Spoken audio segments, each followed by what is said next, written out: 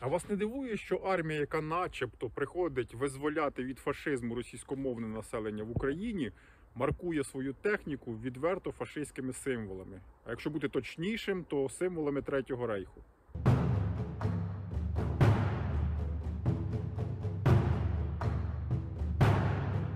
Та мало того, що вона маркує техніку, вони взагалі вибрали два символи: оце В і З. Оцей як символ Росії, мабуть, чи символ цієї війни.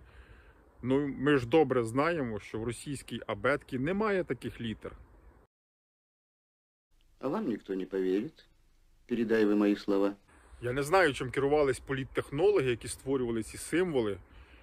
Можливо, вони вирішили, що треба додати чогось імпортного, такого, щоб більш фірмового. Але у мене просте питання. Покоління людей, які виросли на Щірлісові,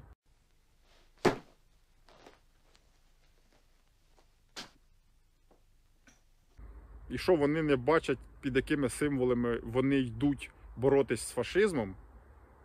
Чи вони не розуміють? Їм стють в очі, а їм все дощик іде.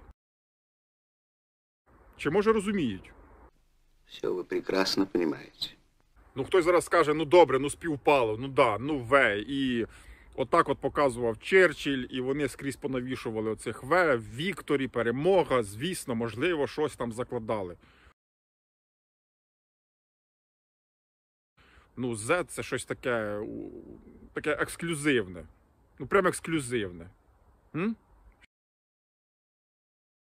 Давайте так, щоб м'якше, я покажу вам радянський мультик Скарби затонувших кораблів. Епізод.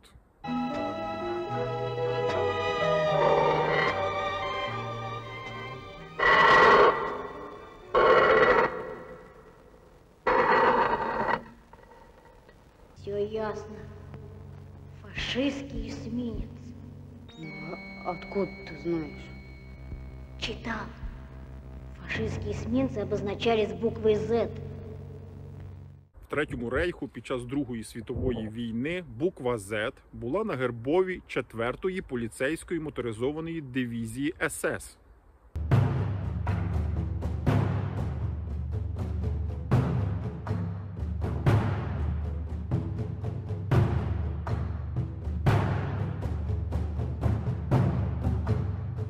Ось є ще такі варіанти, що ця буква Z, вона щось, начебто, половина СС або половина свастик. В будь-якому випадку це щось якесь неповноцінне. А те, що пишуть в одному слові і кирилицею, і латиницею, то то якась повна філологічна шизофренія. Ну добре, вибачте, щось завівся я. Давайте так от холоднокровно пройдемося по історії. Нагадаю, що Друга світова війна почалася 1939 року, коли Радянський Союз разом з німецькою армією поділили між собою Польщу. В Бресті навіть відбувся спільний парад німецьких і радянських військових.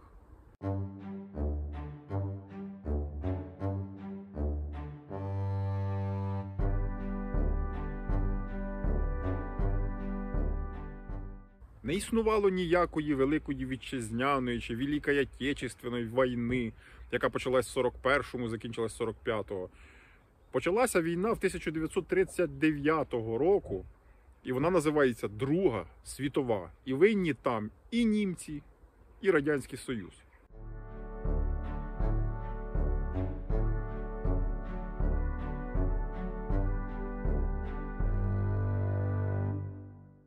Радянський Союз це була країна плагіату. Плагіатили абсолютно все.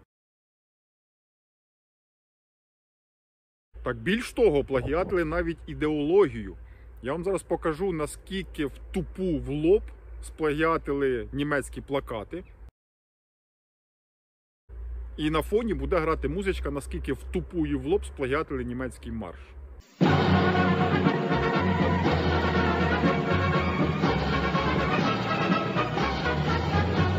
рождены, чтоб сказку сделать былью, преодолеть пространство и простор. Нам разум дал стальные руки крылья, а вместо сердца пламенный мотор.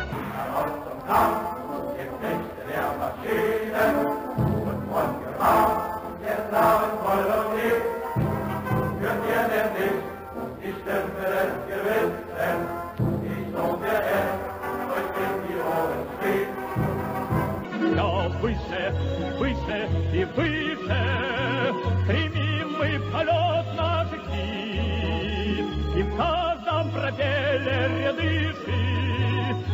Спокойствие наших границ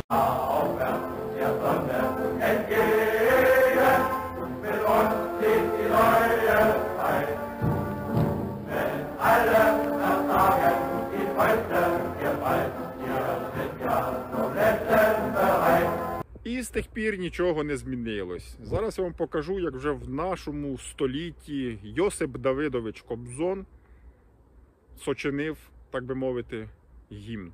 А сегодня мы имеем возможность услышать гимн в другом, в особом исполнении. Наш уважаемый коллега Иосиф Давыдович Кобзон, как и обещал, записал гимн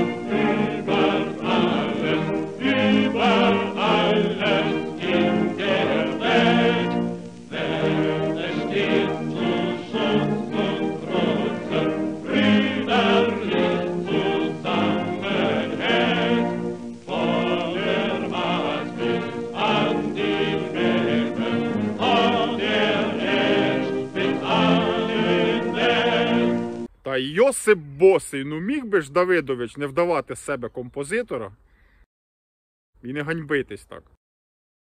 Так, добре, поїхали далі. Анексія Криму відбулась абсолютно за тим самим шаблоном, за яким Гітлер анексував Австрію.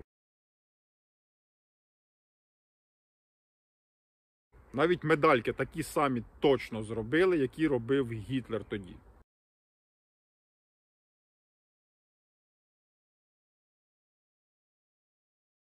Існує інсайдерська інформація, що в Росії вже підготували партію нових медальок, якими планують нагороджувати російських солдат, які виживуть в цій війні в Україні. Ось так вони виглядають.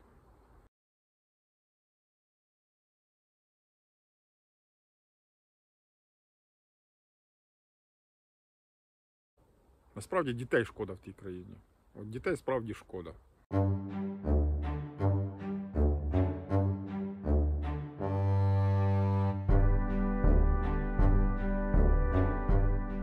А напишіть, будь ласка, в коментарях, чому, на вашу думку, вони використовують таке пряме і очевидне запозичення німецької символіки.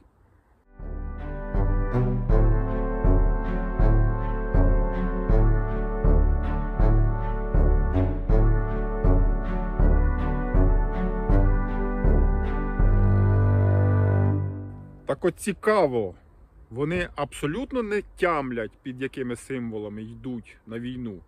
Чи все ж таки тямлять? А якщо тямлять, то тут класик правий, як завжди. Я подумал, что это даже можно сформулировать как форму нацизма, как сцикливый нацизм. Вот, понимаешь, потому что у немцев нацизм был честный. Они не говорили, что мы хорошие, мы кого-то освобождаем. Мы дадим вам всем пизды, потому что вы недочеловеки. Но кацапы ж так не говорят. Они говорят, нас там нет, мы хорошие. Мы не осво- ставим мы целью осво- оккупацию Да, Украины. мы освобождаем. Это они когда бомбят, значит, вот это все. Это они освобождают. понимаешь? Они даже здесь, суд. Это такой сцикливый, самый мерзкий вид нацизма. Кожен блогер просить, щоб підписувались на канал, тому що це дійсно допомагає каналу якимось чином з'являтися в стрічці. Тому я також буду дуже вдячний, якщо ви підпишетесь на канал, якщо вам цікаві такі теми, які я тут транслюю.